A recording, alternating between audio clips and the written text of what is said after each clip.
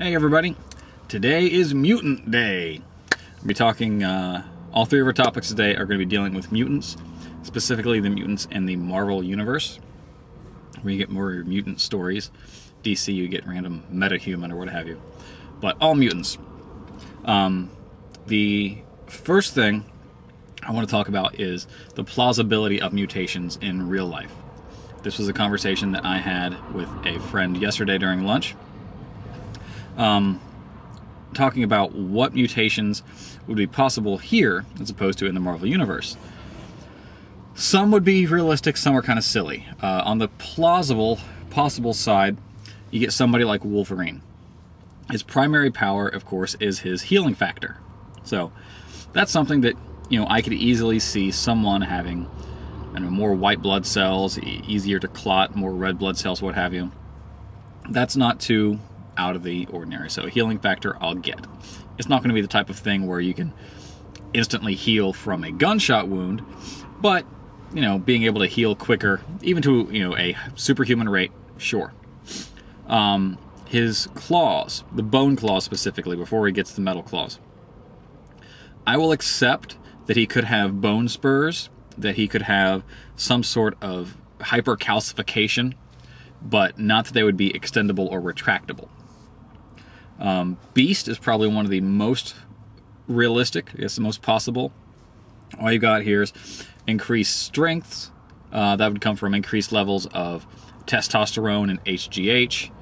Um, you're going to have things like uh, excessive hair growth, which would be pretty normal. Um, what else? Skin discoloration. That's a fairly normal thing. Maybe not the deep blue hue that you often see on his secondary uh, mutation, but skin discoloration is fine.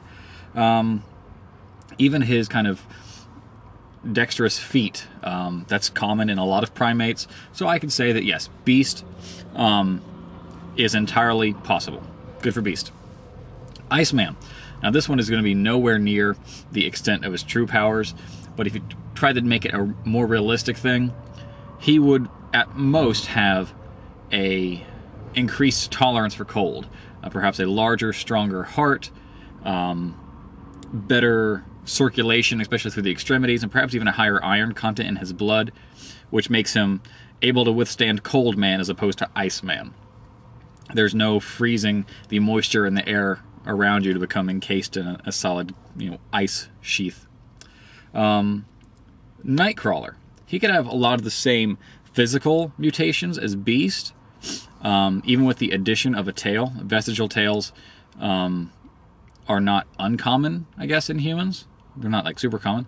Um, so why not say he's going to a lower order primate? He's going to go to a monkey level um, to get the tail. So that's fine. Teleportation, no way in hell. Things that are completely impossible. Cyclops. There's there's nothing in the body where you're going to be able to mutate and shoot laser beams out your eyes. Uh, one of the points we kind of discussed to help describe how it would be possible uh, would be that he would absorb solar radiation, I guess ultraviolet rays or something, in a way that other people couldn't, and he'd have to expel the energy somehow.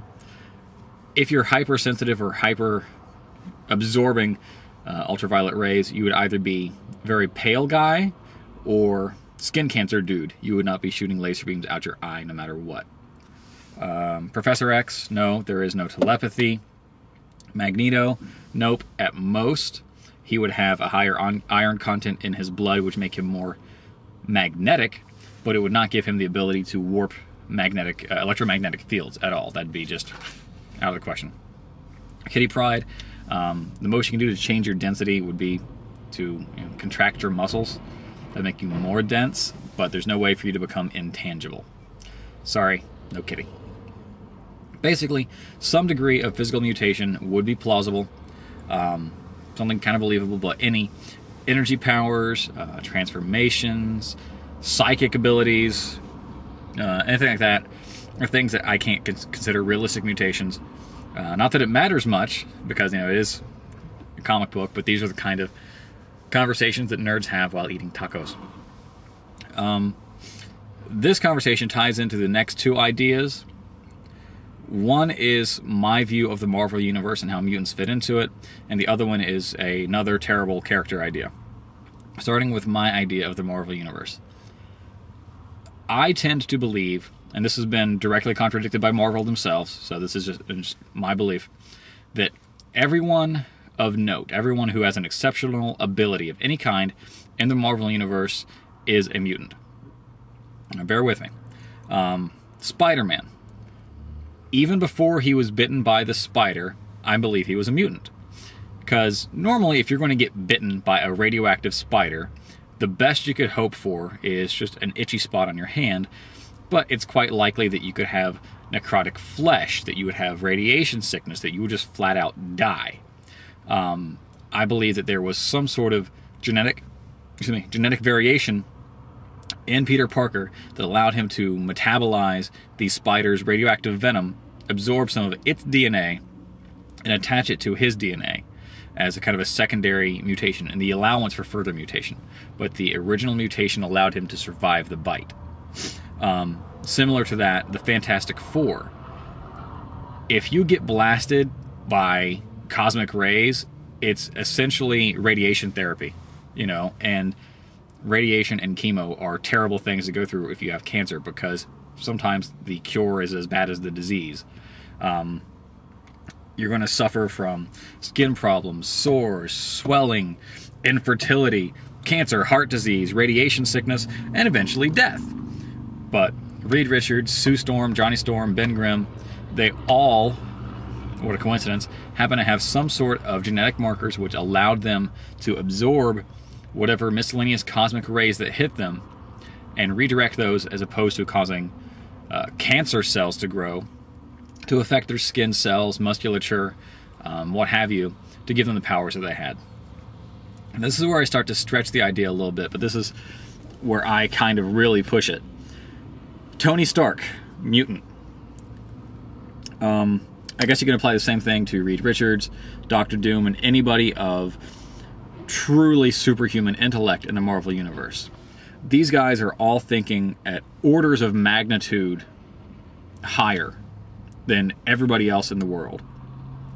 So I believe their mutation is either slightly larger brains, uh, access to more portions of their brain, just a hypersensitive nervous system which allows them to react more quickly. The fact that they can build these incredible suits of armor, that they can have advanced intelligence, uh, pardon me, advanced uh, artificial intelligence like uh, Ultron and Jocasta and all this sort of stuff the fact that these motherfuckers are making multiple time machines, independent of one another, just time machines. That's not normal human thinking. That's not a normal human brain. That's a mutant brain. Um, Doctor Strange, another kind of a logical leap here.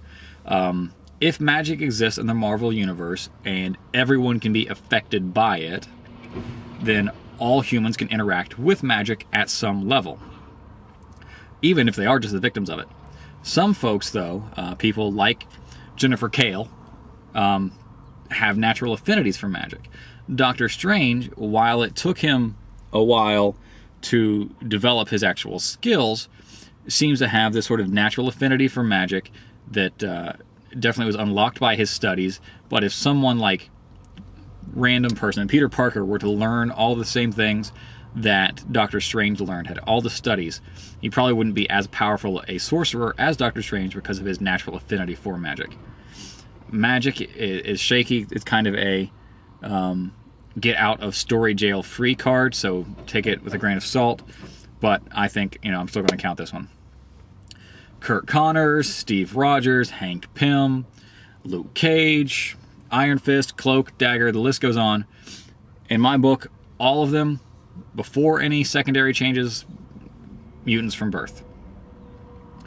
Finally, uh, tying the two previous thoughts together into one freaky little ball plausible physical mutations and the proliferation of mutants in the Marvel Universe. Once again, another terrible character idea coming up here. In adult humans, the most common form of mutation is sadly cancer. Um, we're back in the Marvel universe, and I, I, know this is a cellular mutation as opposed to a genetic mutation, but we're gonna, you know, since we're in the Marvel U, we're gonna roll with it. I read a number of years back that gay men tend to uh, have higher rates of uh, colon cancer and I believe prostate cancer than women or heterosexual men. So putting these two things together in the Marvel universe, um, I combined the two into the colorectal X-Men. Essentially, uh, whatever caused these genetic mutations, which would have normally led to a cancer, have actually led to uh, the secondary mutations like you see in the X-Men. Uh, they're normally onset at adolescence through some sort of trauma, what have you. But instead of being generalized, they are localized in the ass. Um, it'd be kind of neat to see all the X-Men with powers coming out their butts. Cyclops, you know, would become Brown Eye, and he would, you know, fire colonic blasts. Um, I don't know, maybe Wolverine would have the eternally supple sphincter. I don't know what his little power would be. Um, Colossus's lower intestine would just be just a shiny metal tube. And he could go every time he pooped. Maybe it sound like a tuba. Um, Beast would just have a very hairy butt. Whatever. Uh, Cypher uh, would be like Jim Carrey in Ace Ventura when he's talking to Tone Loc, you know, with his butt cheeks. He could speak any language, but only when he's talking out his ass. Um, these are all terrible ideas. Uh, they're all really stupid mutants, just random butt cancer jokes, essentially. Um, but I'm sure that there are much worse that you guys could all come up with. I think that's all for today. I think we ended on a strong note. If everything is going the way I think it will, tomorrow we'll probably um, talk about the withholding of knowledge within comic book universes how all the superhumans have this great technology, wisdom, what have you, and they don't share it with anybody. And a new character uh, called Prometheus, who would be the guy who would actually take that knowledge, share it with the general populace, and how that would affect the world. If everybody had teleporters, if everybody had super hyper intelligent, you know, computers, if everybody had helicarriers and all these sorts of cloning technology and you know. Um, until next time, I hope you guys all have a good day. Feel free to leave your own terrible ideas in the uh, comments below or perhaps in a video response. Until next time, have a good day.